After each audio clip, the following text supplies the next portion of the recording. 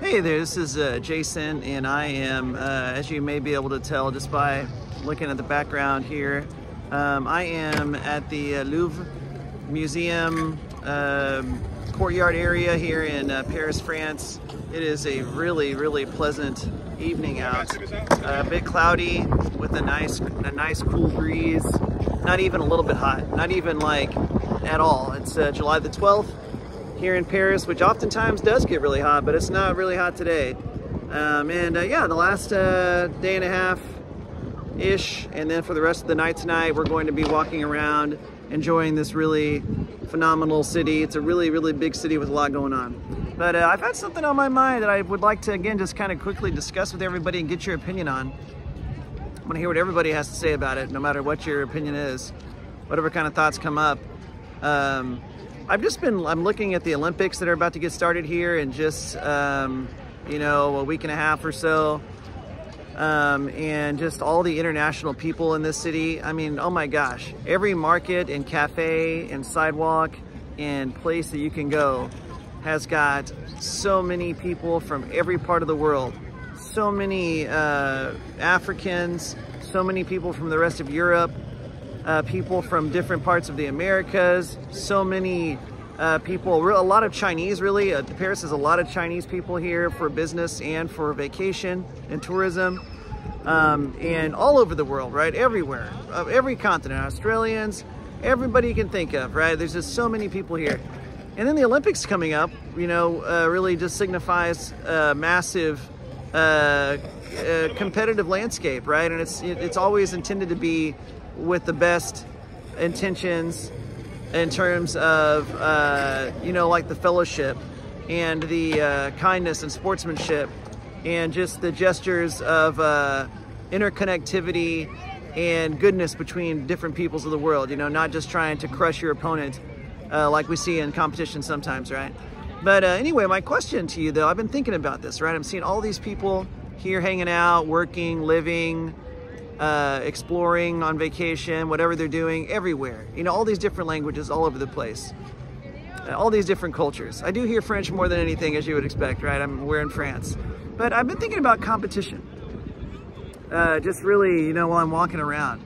And I was thinking, you know, if you go back in time through most of human history, competition was, was a, a survival uh, requirement a lot of the time. You know, like if there was a tree that had some fruit on it, and your tribe was on this, or let's just say you, you were on this one side and somebody from another tribe was on the other, you know, whoever ran and grabbed the fruit first was going to eat. And the slower person or the one who didn't pay attention or the one who got, you know, fought off or whatever, they didn't have anything. And so you had to be faster, smarter, and pay more attention before the other people or you could possibly die from it, right? Either that or just have a really bad time until you did find something. And so competition has evolved, you know, over the years, and now it's oftentimes just a, you know, for sport uh, and entertainment. Um, but uh, you know, human beings still, it's a big part of our spirit. You know, competition is a is a massive part of uh, the human psyche. Still, uh, sociologically, uh, it's a big it's a big money making machine. It's a big uh, activity that people pay a lot of attention to. And so my question to, to everybody really is, do you feel like competition, this is not a question about market capitalism versus socialism or anything like that. It's not, this is not an ideological question in terms of those, those terms people like to use. But if competition has evolved from the way it used to be, where it was, you know, one, one army against another, which we still have, you know, one tribe against another, you know, we cooperate so much better now. You can say like, well, how's that? How do you know that, Jason? How do you know that people cooperate better? Well, think about what I said at the beginning of the video. You have a city like Paris that is full of all these different people with all these different backgrounds, all speaking their different languages, cooking their different kinds of foods, doing their different kinds of things. And then they come together and really make it work in these big cities like Paris and a lot of other cities, right? Lots of other cities do that. Paris is just a great example of it. And so, um, so that's how we know that humans cooperate better, right? And so, so with human beings having changed now to where you get people from all these different backgrounds cooperating. You know, which is something that that you kind of see with uh, my favorite nonfiction author, uh, Yuval uh, uh, Harari, uh, who writes. You know, he wrote *Sapiens* and *Homo Deus* and a bunch of other stuff, and he speaks a lot. You know, you can find him on YouTube. Yuval Noah Harari, you know, he says that human beings are the only species on the planet that can uh, do one thing that the other species can't, in addition to some other really important stuff, including language and you know higher cognitive thinking. Human beings, uh, according to uh, Yuval Harari, is that we are able to cooperate in massive groups with strangers, right? Human beings can cooperate with huge numbers of other humans that they're not the same tribe as in order to get some things done you know, and there's lots of examples of that. And again, I'll just stick to the primary example, which is Paris, France. You have people from all over the world coming to this one city and they cooperate to make the city work, right? And then by the city working, them and their families as inhabitants of the city and participants in the cooperation of the city, they get the fruit of survival by having a place that works for their lives, right? And so, um, so Paris still competes these people still compete. The country of France still competes, but you have you have strangers from different backgrounds that come together now and, and work for the same goal of uh, helping this population center work, right? To, to help this life here work. So um, again, like, uh, what am I getting at here? Is competition still something that human beings really need to be at, at our best? So there's the there's the question there. Is this something that we that we need in our lives in order to push ourselves to be the best? Um, and then where does competition go too far? You know, like at what point at what point do cooperation and competition, which they're not mutually exclusive, right? You don't have to have one or the other. You can have them both working at the same time. You know, a, a team cooperates in competition with another team. And so you can have both. I just, I'm asking you guys now at this point in humanity. There's a really great guy with a freaking awesome, badass name named, uh, his name is Merlin, and he's one of the docents here at the museum. And I had about a 15-ish minute talk with the guy about various things, you know, really, really smart guy. And uh, he was just saying that, you know, mankind is the same bodies, the same most everything that we have been for a long time, but now technology has taken it to a new place. You know, our bodies might not be the same as they have been for a long time, for very long. You know, we might we might have this marriage between our human bodies the way they have been and the technology that creates almost a new species, which is some stuff that Yuval Harari talks, talks about a little bit in some of his writings as well. But, um, you know, where are we going from here? Uh, where does competition take us in terms of a good place versus a bad place? Where does it go too far? Even things, you know, like, uh, like technology. You know, are humans any good at putting limits on the places that we're taking the tech and the, the, the places that the tech takes us? Or does it just kind of run away with us because we just push things so far? Uh, I do want to say, you know, it was interesting this afternoon at lunch. There was a, a, gentleman, younger guy, who sounded very intelligent, and he was sitting at a, a cafe table with two Chinese, one of which didn't speak any English, and then the other one was translating. And it's almost like they were interviewing him about they were interviewing him about his business, which was in seemed like the medical technology arena and just like just really taking this information and it reminded me again about how competitive the Chinese are. Uh, the Chinese are. Uh, uh, the guy I was speaking with earlier today, uh, he was saying that in his opinion, there's like this almost, there's almost this like Chinese underground network controlling parts of Paris. I don't know if he's right or not. I don't know about that.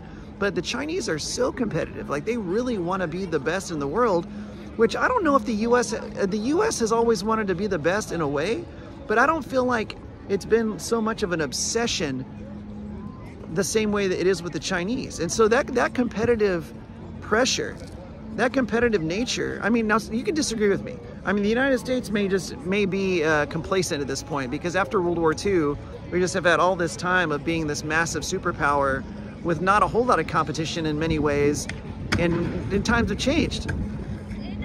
I just uh, I'm really really fascinated by what it what it does to what it does to people's minds and their hearts and their spirits, uh, and that that whatever it takes to win attitude. You know, is there a price to be paid there? I feel like there is. I remember I was refereeing a soccer game several years ago, and I had to drive to a small town, and their their uh, their wall inside the field house where the athletes got ready said, "Whatever it takes." That's what it said, right? Whatever it takes. And so, if you actually subscribe to whatever it takes in terms of winning, well, whatever whatever kind of means anything, right? And so that means that you cheat if you have to, you uh, play dirty if you have to, um, you just do whatever you got to do to get over your opponent in terms of having leverage and winning whatever you're trying to win at. And so, um, you know, some people might say that's what rules are for, right? Well, whatever it takes doesn't say whatever it takes within the rules. It says whatever it takes. So let me just get back again. You know, I, I like to keep these question videos under 15 minutes. Um, what is your opinion? I really want to hear from you guys. what is your opinion on where the line gets drawn between competition uh, in terms of making humanity and an individual stronger?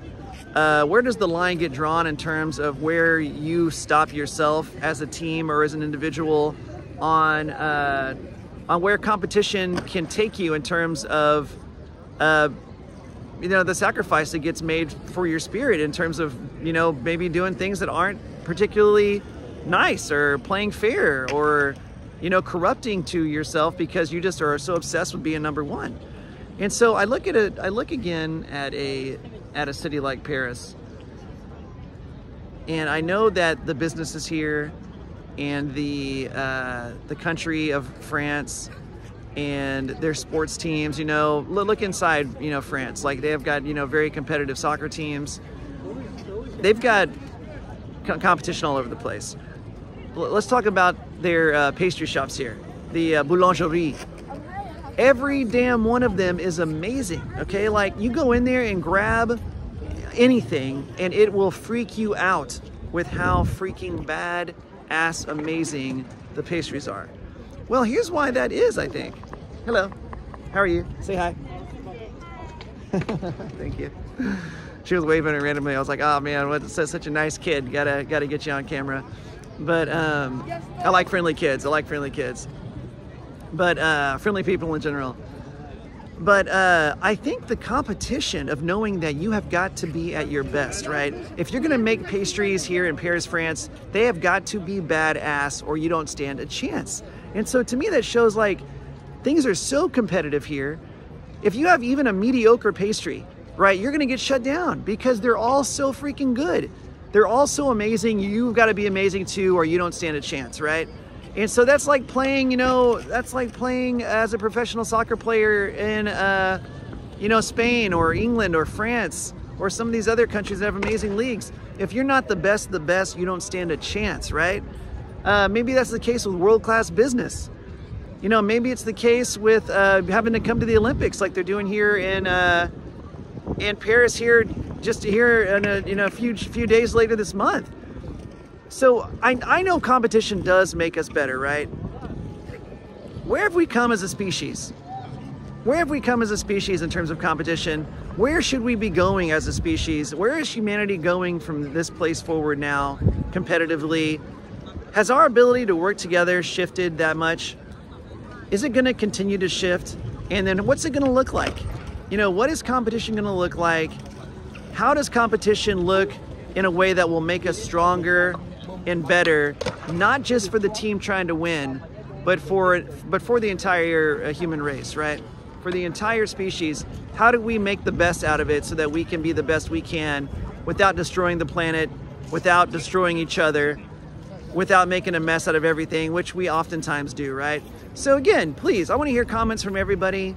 What are some things you see uh, on the planet right now that just show the good side of competition? What are some things you see that show the dark side of competition? Uh, what are your thoughts again on uh, on the best way to make that work for everyone if you think it can? So I've got 30 seconds here. Um, I hope everybody's doing really, really great. Paris is a massive city with a lot going on. And I do think, again, it shows, it shows like many other cities do and many other examples, a way that a bunch of strangers, not just individual strangers with, with their differences, but, but peoples, right? Cultures with lots and lots of differences. A city like Paris shows how all those differences can get put aside so people can come together and really operate a city in a successful way. It's not perfect, right? It's not perfect. There's a lot of traffic, there's a lot of trash, there's a lot of things that can be better, but it's a cool city and they and it works. It's a cool city and it works and a lot of people live here and a lot of people love it, whether you're a resident or a visitor. So you guys let me know, please. Let me step up here, show you a little bit about the uh, about this beautiful central court, courtyard of the Louvre here in Paris, France. What a beautiful freaking day. Um, so yeah, let me know. How are you being your best? How can we be our best as a species and as, a, as all these different people that make up the human race? Uh, let me know whatever you think about it. Anything you have to say is something I want to hear.